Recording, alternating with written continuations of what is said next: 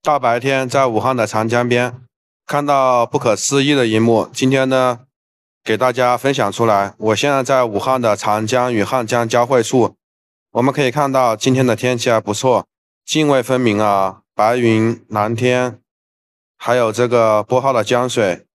哇塞，朋友们快看，前面发生了什么？我们现在呢，随着我们的镜头啊，一起往前面看一看。这边石碑上面。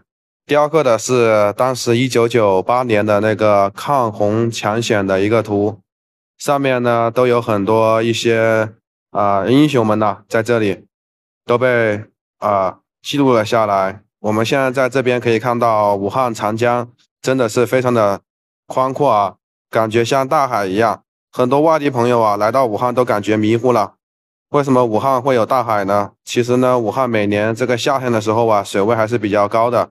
然后呢，冬天呢又到了枯水期，所以说啊，感觉江面非常的宽阔。这边路灯呢都是延绵长江好几公里呢。在别的城市啊，我觉得的话，全国来比的话，武汉的长江边的绿化应该是在全国排名前三，应该没有任何问题吧？像上海的黄浦江畔啊、外滩啊，我都感觉没有像武汉这边修的这么好。这边绿化真的不得不说非常好啊。这边写的是看到没有？大家看一下啊。上面写的这个严防死守啊，然后历历在目啊，是不是？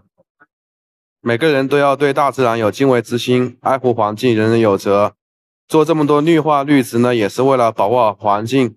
随着现在汽车尾气的排放啊，空气中的一些什么东西啊，就是过高嘛，所以说需要种树啊、种草啊、种花，来保证空气的一个清新度。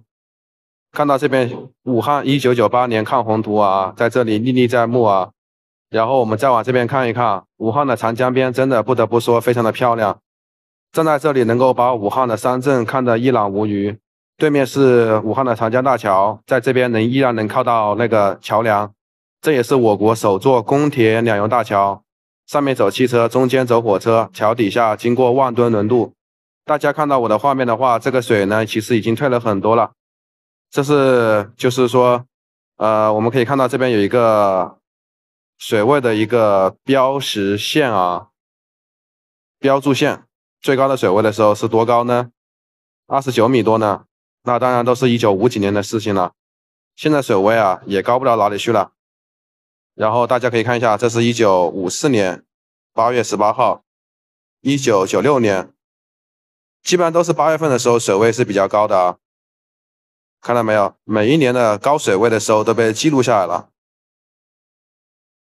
在武汉的朋友啊，应该都是深有体会的。每年涨水那都是一个是比较激动，第二个是比较紧张的时刻。这是一九三一年，二十八点二八米。好了，我们再往前面走一走，逛一逛，瞧一瞧。新来的朋友点点关注，点点赞，您的支持啊，就是我创作更新最大动力。我现在来到这边了，可以看到有个救生圈，然后在这边呢，可以看到长江水啊与汉江水啊交汇之后啊，有很大的一条泾渭分明的景象。看看这个水啊，其实是比较高，然后有时候呢也比较低，这得益于啊三峡大坝，然后那个丹江口水库啊从上游流过来嘛，然后那边是一座网红桥秦川桥，那边还有电视塔。可以看到江面上有条蟒蛇穿梭而过，其实它是长江水啊与汉江水交汇之后形成的一道泾渭分明的景象。长江水的颜色和汉江水的颜色，水流速度不一样所形成的景象。